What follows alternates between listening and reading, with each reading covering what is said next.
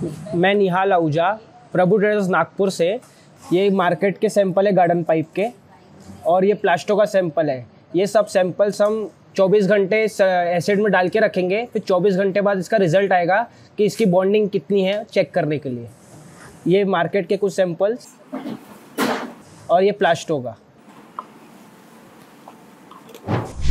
Sir जैसे 24 घंटे बाद देखा जा रहा है तो ये जो दूसरे मार्केट सैंपल्स है ये पूरे पाइप टूट गए हैं।